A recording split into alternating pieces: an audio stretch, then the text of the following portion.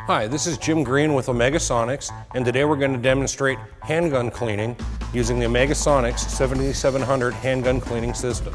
Now we've already removed the grips from the handgun to facilitate in the video. The first thing you want to do anytime you're cleaning a handgun is ensure that the weapon is empty by locking your action open like so. You're going to remove the ma magazine, close the action, and then disassemble the weapon into its major components. So you have the frame assembly, spring assembly, barrel assembly, and slide assembly.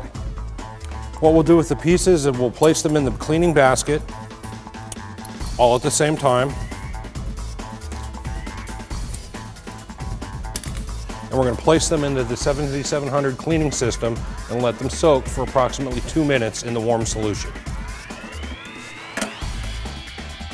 Once you're done letting the parts soak for a couple of minutes to loosen up any heavy contaminants, you're going to activate the ultrasonic system and let it clean for an approximate another two minutes.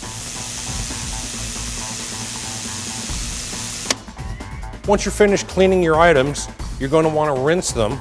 So we'll bring the whole basket assembly over to the sink and we're going to thoroughly rinse the items with water.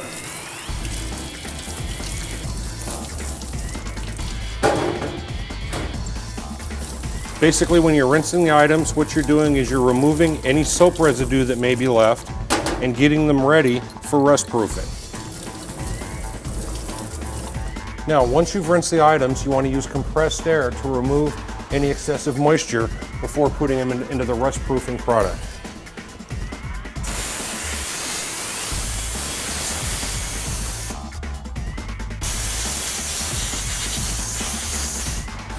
Now, once you've removed the excess water, what we're going to do is move the parts over to the rust proofing solution, insert them into the product. Now this is a non-diluted uh, moisture displacement product that we use at 100% strength. We then transfer the entire assembly back into the 7700 system so that we can ultrasonically lubricate and displace water throughout the entire handgun assembly. So at this point what you'll do is turn the ultrasonic tank back on again for another approximate two minute cycle.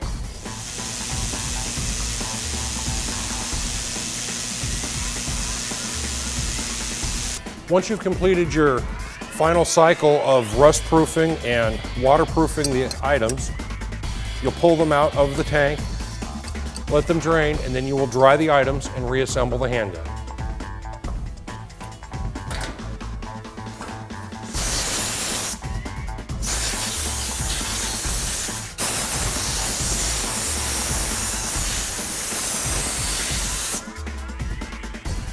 The final step in the process for cleaning the weapon before final assembly is to take the barrel and run a barrel patch down with some gun oil on it to ensure integrity of the barrel.